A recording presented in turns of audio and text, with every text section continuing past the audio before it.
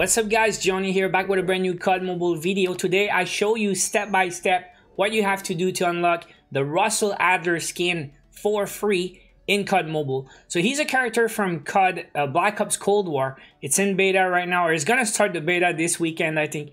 We're gonna check the schedule also. But I know you can click learn more, just been an announcement in the COD Mobile game.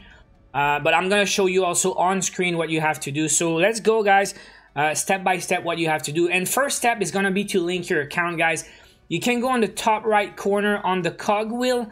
This is your settings. Now you can see on the top, you have my Facebook icon, but also the Call of Duty Activision account icon.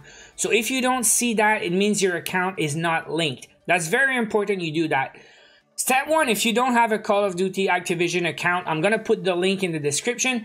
But of course, you're to have to create your account first. Now, once you have your account, you have to link it by clicking the plus button. Now here you can see the only thing I can link right now is my Apple ID account. But still, I already link with Facebook. If I unlink, I will have that option again. All right, so go to the link, create your account, then go here and log in with your COD account to link your account all right? Now i'm guessing step one and two was already done in the past because there have been some promotions in the past. First to get your free outrider arctic you had to create and link your account.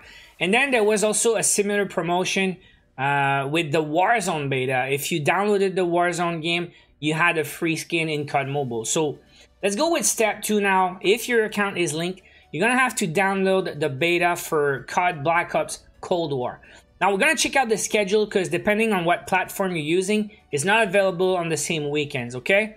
Now here's the schedule. If you're on PS4, you can play right now this weekend. October 8, 9 is the PlayStation 4 early access. Then October 10 to 12 is the open beta for PS4, all right?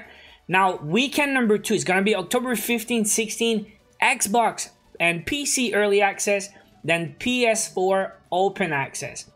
Now, October 17 to 19, open beta for all platforms. So if you didn't pre-order or if you don't have a PlayStation 4, everyone will have open beta October 17, 18, 19.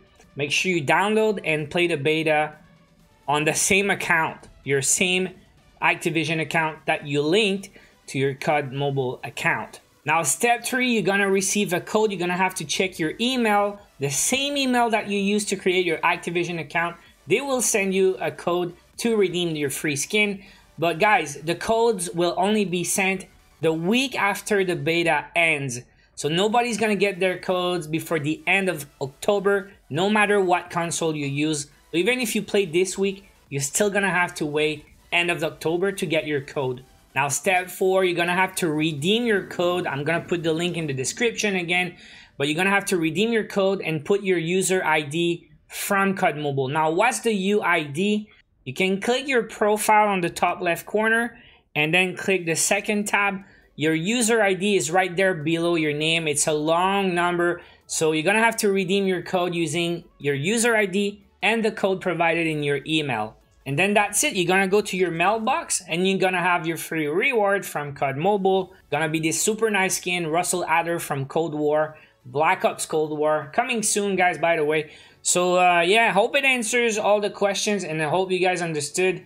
If not, leave a comment below. Maybe I can answer your question. But I think it was pretty simple. And good luck everyone. End of October, we're going to check out that free skin. Thank you guys for watching. Smash like if that video was helpful and subscribe to the channel for daily Mobile videos. I'll see you guys in the next one. Take care.